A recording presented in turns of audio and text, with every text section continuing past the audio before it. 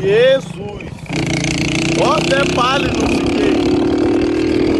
Olha, é perigoso, menor. Nunca deixe sua namorada aí. Não ensinem sua namorada a pilotar. Nossa, Giovana! Jesus!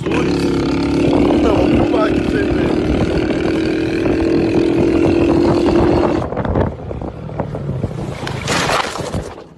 Caraca, mano, falando pra você, machucou? Falando pra você, Giovana. Devagar, mano.